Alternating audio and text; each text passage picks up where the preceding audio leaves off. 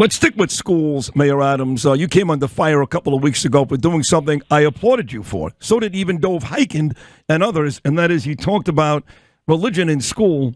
And look, I'm not going to blame every school shooter's issues on lack of religion, but let's be honest. A lot of these kids have lost their way, and a little religion hurt nobody, hurts nobody. But you came under some uh, pretty serious fire for that. Are you disappointed? Uh, no, because I didn't come under fire, and that's what we have to be very careful about. The loudest in the numerical minority is not the position of the overwhelming majority.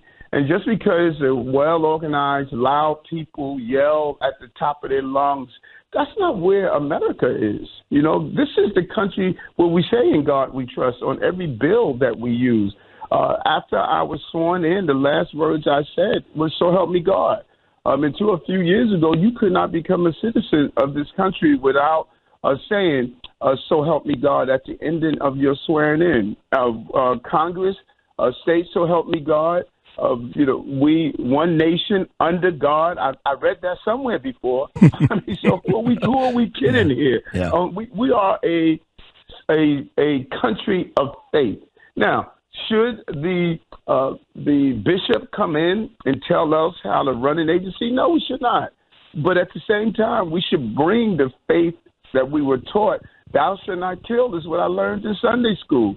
Uh, you know, those things that are the principle of what I learned in my faith, no matter what that faith is. It could be Islam, it could be Buddhism, it could be a uh, Christianity, a uh, Sikhism, no matter what it is you should bring the principles and foundation of your faith and how you make your make your decisions. So when you talk about specifically uh, with, with schools, I said I'm really concerned of what I'm seeing, and, and I, sometimes I'm baffled. Am I the only one that's seeing what is happening to our children? Yeah, uh, you have you have China giving our children a version of TikTok that they won't show their children know, this is a this is a Trojan horse moment if I've ever witnessed it before in my life. You if you dismantle your the children of a of a of a culture or a country, you're dismantling the future.